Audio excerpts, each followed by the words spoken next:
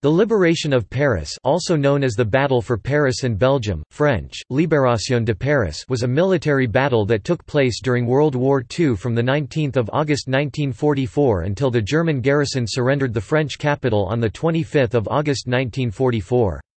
Paris had been ruled by Nazi Germany since the signing of the Second Compiègne armistice on the 22nd of June 1940, after which the Wehrmacht occupied northern and western France. The liberation began when the French forces of the interior—the military structure of the French resistance—staged an uprising against the German garrison upon the approach of the U.S. Third Army, led by General George Patton. On the night of 24 August, elements of General Philippe Leclerc's 2nd French Armoured Division made its way into Paris and arrived at the Hôtel de Ville shortly before midnight. The next morning, 25 August, the bulk of the 2nd Armored Division and U.S. 4th Infantry Division entered the city. Dietrich von Choltitz, commander of the German garrison and the military governor of Paris, surrendered to the French at the Hôtel Meurice the newly established French headquarters. General Charles de Gaulle arrived to assume control of the city as head of the provisional government of the French Republic. Background Although the Allied strategy emphasized destroying German forces retreating towards the Rhine, the French forces of the interior the armed force of the French resistance, led by Henri Rol Tanguy, staged an uprising in Paris. General Dwight D. Eisenhower, the Supreme Commander of the Supreme Headquarters Allied Expeditionary Force, did not consider the liberation of Paris to be a primary objective. The goal of the US and British Army was to destroy the German forces, and therefore end World War II in Europe, which would allow the Allies to concentrate all their efforts on the Pacific Front. Eisenhower stated that it was too early for an assault on Paris. He was aware that Adolf Hitler had ordered the German military to completely destroy the city in the event of an Allied attack. Paris was considered to have too great a value, culturally and historically, to risk its destruction. Eisenhower was keen to avoid a drawn-out battle of attrition, such as the Battle of Stalingrad or the Siege of Leningrad. It was also estimated that, in the event of a siege, 4,000 short tons 3,600 t of food per day, as well as significant amounts of building materials, manpower, and engineering skill, would be required to feed the population after the liberation of Paris. Basic utilities would have to be restored, and transportation systems rebuilt. All these supplies were needed in other areas of the war effort. De Gaulle was concerned that military rule by Allied forces would be implemented in France with the implementation of the Allied military government for occupied territories. This administration which had been planned by the American Chiefs of Staff had been approved by U.S. President Franklin Roosevelt but had been opposed by Eisenhower. Nevertheless General Charles de Gaulle of the French army, upon seeing the French resistance having risen up against the German occupiers, and unwilling to allow his countrymen to be slaughtered as had happened to the Polish resistance in the Warsaw Uprising, petitioned for an immediate frontal assault. He threatened to detach the French 2nd Armoured Division and order them to single-handedly attack Paris, bypassing the SHAEF chain of command, if Eisenhower delayed approval unduly. General strike 15 to 19 August 1944 On 15 August, in the northeastern suburb of Pantin, 1,654 men among them 168 captured Allied airmen, and 546 women, all political prisoners, were sent to the concentration camps of Buchenwald men and Ravensbrück women, on what was to be the last convoy to Germany. Pantin had been the area of Paris from which the Germans had entered the capital in June 1940. That same day, employees of the Paris Metro, the Gendarmerie, and police went on strike, postal workers followed the next day. They were soon joined by workers across the city, causing a general strike to break out on 18 August. On 16 August 35 young FFI members were betrayed by an agent of the Gestapo. They had gone to a secret meeting near the Grande Cascade in the Bois de Boulogne and were gunned down there. On 17 August, concerned that the Germans were placing explosives at strategic points around the city, Pierre Taittinger, the chairman of the municipal council, met Dietrich von Choltitz, the military governor of Paris. When Choltitz told them that he intended to slow the Allied advance as much as possible, Taittinger and Swedish consul Raoul Nordling attempted to persuade Choltitz not to destroy Paris. Battle and liberation. Topic: FFI uprising 19 to 23 August. All over France, from the BBC and the Radiodiffusion Nationale the Free French broadcaster the population knew of the Allies' advance toward Paris after the end of the Battle of Normandy. RN had been in the hands of the Vichy propaganda minister, Philippe Henriot, since November 1942 until de Gaulle took it over in the ordonnance he signed in Algiers on 4 April 1944. On 19 August, continuing their retreat eastwards, columns of German vehicles moved down the Champs-Élysées. Posters calling citizens to arm had previously been pasted on walls by FFI members. These posters called for a general mobilization of the Parisians, arguing that, "...the war continues." They called on the Parisian police, the Republican Guard, the Gendarmerie, the Garde Mobile, the Groupe Mobile de Reserve the police units replacing the army, and patriotic Frenchmen, "...all men from 18 to 50 able to carry a weapon," to join the struggle against the invader. Other posters assured that, "...victory is near", and promised, "...chastisement for the traitors", i.e. Vichy loyalists, and collaborators. The posters were signed by the "...Parisian Committee of the Liberation", in agreement with the Provisional Government of the French Republic, and under the orders of "...Regional Chief Colonel ROL." Henri Rol Tanguy, the commander of the French forces of the interior in the Ile-de-France region. Then, the first skirmishes between the French and the German occupiers began. During the fighting, small mobile units of the Red Cross moved into the city to assist the French and Germans who were wounded. That same day in Pantin, a barge filled with mines exploded and destroyed the great windmills. On 20 August, as barricades began to appear, resistance fighters organized themselves to sustain a siege. Trucks were positioned, trees cut down, and trenches were dug in the pavement to free paving stones for consolidating the barricades. These materials were transported by men, women, and children using wooden carts. Fuel trucks were attacked and captured. Civilian vehicles were commandeered, painted with camouflage, and marked with the FFI emblem. The resistance used them to transport ammunition and orders from one barricade to another. Skirmishes reached their peak on the 22nd of August, when some German units tried to leave their fortifications. At 9 o'clock on the 23 August, under Choltitz's orders, the Germans opened fire on the Grand Palais, an FFI stronghold, and German tanks fired at the barricades in the streets. Adolf Hitler gave the order to inflict maximum damage on the city. It is estimated that between 800 and 1,000 resistance fighters were killed during the Battle for Paris, and another 1,500 were wounded. Topic: Entrance of French 2nd Armored and U.S. 4th Infantry Divisions 24 to 25 August. On 24 August, delayed by combat and poor roads, Free French General Leclerc, commander of the 2nd French Armored Division, disobeyed his direct superior, American Corps commander Major General Leonard T. Gerow, and sent a vanguard the Colonne Dronne to Paris, with the message that the entire division would be there the following day.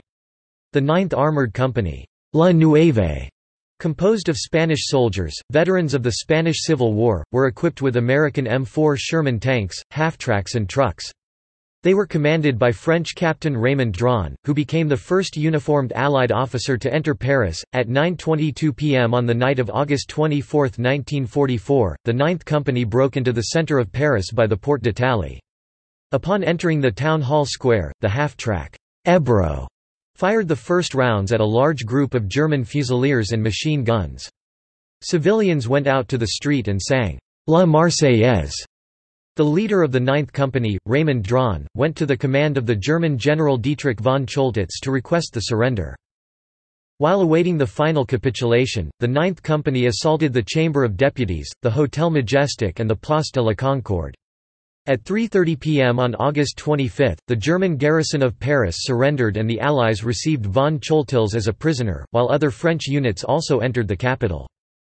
Near the end of the battle, resistance groups brought Allied airmen and other troops hidden in suburban towns, such as Montlhéry, into central Paris. Here, they witnessed the ragged end of the capital's occupation, de Gaulle's triumphal arrival, and the claim of «one France», liberated by the Free French and the resistance. The 2nd Armoured Division suffered 71 killed and 225 wounded. Material losses included 35 tanks, 6 self-propelled guns, and 111 vehicles, a rather high ratio of losses for an armoured division, according to historian Jacques Mordal. German surrender the 25th of August Despite repeated orders from Adolf Hitler that the French capital must not fall into the enemy's hand except lying in complete debris, which was to be accomplished by bombing it and blowing up its bridges. Choltitz, as commander of the German garrison and military governor of Paris, surrendered on 25 August at the Hôtel Meurice, the newly established headquarters of General Leclerc. Choltitz was kept prisoner until April 1947. In his memoir Brennt Paris? Is Paris Burning?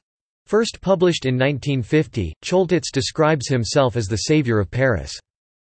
In a 1964 interview, Choltitz claimed that he had refused to obey Hitler's orders. If for the first time I had disobeyed, it was because I knew that Hitler was insane. According to a 2004 interview, which his son Timo gave to the French public channel France 2, Choltitz disobeyed Hitler and personally allowed the Allies to take the city safely and rapidly, preventing the French resistance from engaging in urban warfare that would have destroyed parts of the city.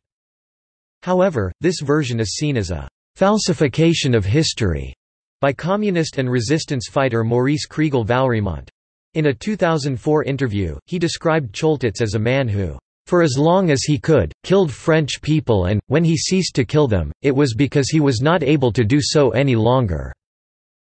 Kriegel Valrimont argues, "...not only do we owe him nothing, but this a shameless falsification of history, to award him any merit." The transcripts of telephone conversations between Choltitz and his superiors, which were found in the Bundesarchiv Militararchiv in Freiburg im Breisgau Baden-Württemberg, and analyzed by German historians, support Kriegel Valrimont's theory. Also, Pierre Taittinger and Raoul Nordling claim it was they who convinced Choltitz not to destroy Paris as Hitler had ordered. In 1958, Taittinger published less than pre greater than slash pre greater than dot dot dot at Paris ne fut pas détruite and Paris was not destroyed describing the event, and was awarded the Prix Broquette Gonin from the Académie Française. De Gaulle's speech the 25th of August On 25 August, the same day that the Germans surrendered, Charles de Gaulle, president of the Provisional Government of the French Republic, moved back into the War Ministry on the Rue Saint-Dominique. He made a rousing speech to the crowd from the Hôtel de Ville. Why do you wish us to hide the emotion which seizes us all, men and women, who are here, at home, in Paris that stood up to liberate itself and that succeeded in doing this with its own hands? No. We will not hide this deep and sacred emotion. These are minutes which go beyond each of our poor lives. Paris, Paris outraged. Paris broken. Paris martyred. But Paris liberated. Liberated by itself, liberated by its people with the help of the French armies, with the support and the help of all France, of the France that fights, of the only France, of the real France, of the eternal France. Since the enemy which held Paris has capitulated into our hands, France returns to Paris, to her home. She returns bloody, but quite resolute. She returns there enlightened by the immense lesson, but more certain than ever of her duties and of her rights. I speak of her duties first, and I will sum them all up by saying that for now, it is a matter of the duties of war. The enemy is staggering, but he is not beaten yet. He remains on our soil. It will not even be enough that we have, with the help of our dear and admirable allies, chased him from our home for us to consider ourselves satisfied after what has happened. We want to enter his territory as is fitting, as victors. This is why the French vanguard has entered Paris with guns blazing. This is why the great French army from Italy has landed in the south and is advancing rapidly up the Rhône valley.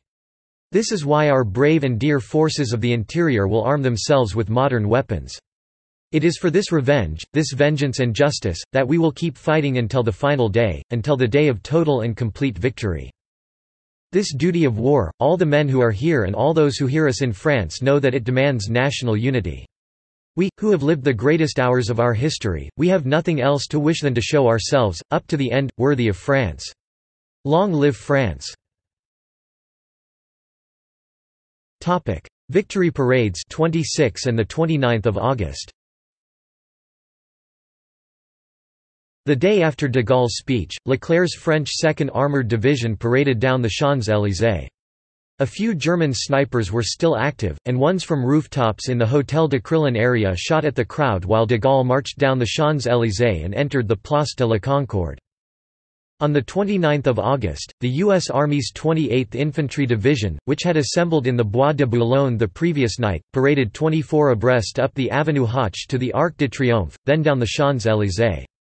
Joyous crowds greeted the Americans as the entire division, men and vehicles, marched through Paris on its way to assigned attack positions northeast of the French capital.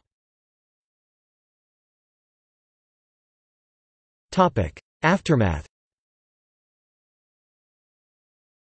The uprising in Paris gave the newly established Free French government and its president, Charles de Gaulle, enough prestige and authority to establish a provisional French republic. This replaced the fallen Vichy state 1940 and united the politically divided French resistance, drawing Gaullists, nationalists, communists and anarchists into a new «national unanimity» government. In his speech, de Gaulle emphasized the role that the French had in the liberation, and the necessity for the French people to do their «duty of war» by advancing into the Benelux countries and Germany. De Gaulle wanted France to be among «the victors» in order to evade the AMGOT threat. From the French point of view Paris liberated itself rather than being freed by the Allies, a belief which de Gaulle outlined in his speech. As a result, so they believed, they escaped the fate of having a new constitution imposed by AMGOT, like those that would be established in Germany and Japan in 1945. On 28 August, the FFI, called the Combatants Without Uniform, were incorporated into the new French Army Nouvelle Armée Française. The new French army was fully equipped with U.S. equipment, such as uniforms, helmets, weapons and vehicles, and they continued to be used until after the Algerian War in the 1960s. Although Paris was liberated, there was still heavy fighting elsewhere in France. Large portions of the country were still occupied after the successful Operation Dragoon in southern France, which extended into the southwestern region of the Vosges Mountains from 15 August to 14 September 1944. Fighting went on in Alsace and Lorraine in eastern France during the last months of 1944 until the early months of 1945. Participation of Spanish Republican exiles Spanish Republican exiles from the Spanish Civil War took part in the liberation as part of the French Second Armoured Division. The Ninth Company of the Régiment de marche du Tchad which was nicknamed La Nueve Spanish for the Nine, consisted of 160 men under French command, 146 of which were Spanish Republicans. O 24 August 2004, the city of Paris led by Mayor Bertrand Delanoë paid homage to their participation. In the presence of Javier Rojo, President of the Senate of Spain, and a delegation of Spanish politicians, a plaque was placed on a wall along the River Seine at the Quai Henri IV. They later paid tribute to the surviving Spanish veterans of the liberation. Legal purge Several alleged Vichy loyalists involved in the Milice, a paramilitary militia established by Sturmbannführer Joseph Darnand that hunted the resistance along with the Gestapo, were made prisoners in a post-liberation purge known as the Épuration Légale legal purge. Some were executed without trial. Women accused of horizontal collaboration because of alleged sexual relationships with Germans were arrested and had their heads shaved, were publicly exhibited and some were allowed to be mauled by mobs. On 17 August, the Germans took Pierre Laval to Belfort. On 20 August, under German military escort, Marshal Philippe Pétain was forcibly moved to Belfort, and to the Sigmaringen enclave in Germany on 7 September. There, 1,000 of his followers including Louis Ferdinand Céline joined him. They established the government of Sigmaringen, challenging the legitimacy of de Gaulle's provisional government of the French Republic. As a sign of protest over his forced move, Pétain refused to take office, and was eventually replaced by Fernand de Brinon. The Vichy government in exile ended in April 1945. Legacy 60th and 70th anniversaries of the liberation On 25 August 2004, two military parades reminiscent of the parades of 26 and 29 August 1944, one in commemoration of the 2nd Armored Division, the other of the U.S. 4th Infantry Division, and featuring armored vehicles from the era, were held on the 60th anniversary of the liberation of Paris. Under the auspices of the Senate, a jazz concert and popular dancing took place in the Jardin du Luxembourg. On 25 August 2014, plaques were put on Boulevard Saint-Michel and neighboring streets, in the vicinity of the Luxembourg Palace, seat of the French Senate, where combatants had been killed in August 1944. There was dancing in the street in every neighborhood of the French capital and Place de la Bastille, as well as a son et lumière spectacle and dancing on the Place de l'Hôtel de Ville in the evening. This was the first time in 60 years that the French government and the municipality of Paris paid homage to the Spanish soldiers for the liberation of Paris. Homage to the liberation martyrs On 16 May 2007, following his election as President of the Fifth French Republic, Nicolas Sarkozy organized an homage to the 35 French resistance martyrs executed by the Germans on 16 August 1944. French historian Max Gallo narrated the events that took place in the woods of Bois de Boulogne, and a Parisian schoolgirl read 17-year-old French resistant Guy Moquet's final letter. During his speech, Sarkozy announced that this letter would be read in all French schools to remember the resistant spirit. After the speech, the chorale of the French Republican Guard closed the homage ceremony by singing the French resistance's anthem Le Chant des Partisans, the Partisans' Song. Following this occasion, the new president traveled to Berlin to meet German Chancellor Angela Merkel, as a symbol of the Franco-German reconciliation. In popular culture La Libération de Paris. La Libération de Paris, The Liberation of Paris, whose original title was L'Insurrection nationale inséparable de la Libération nationale, The National Insurrection Inseparable from the National Liberation, was a short 30-minute documentary film secretly shot from 16 to 27 August by the French resistance. It was released in French theaters on 1 September. Postcards On 8 September 1945, the U.S. Post Office issued a three-cent stamp commemorating the liberation of Paris from the Germans. First-day covers were illustrated with images of the Ludendorff Bridge illustrating its capture. Other countries have issued stamps commemorating the bridge's capture, including Nicaragua, Guyana, Micronesia, and Republic of the Marshall Islands. Filmography La Libération de Paris 1944 Is Paris Burning 1966 Diplomacy 2014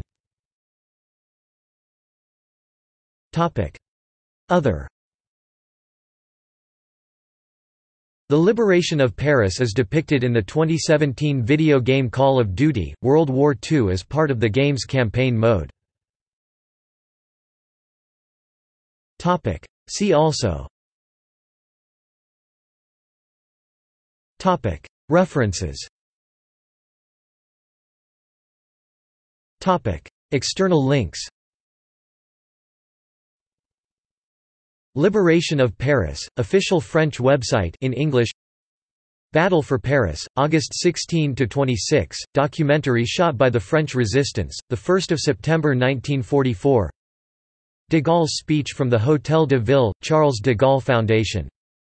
De Gaulle's speech in retrospect, BBC News. Paris Liberated, Rare, unpublished, slideshow by Life. Primaut, Giles 19–25 U 1944. La Libération de Paris in French provides archival documents and a detailed timeline.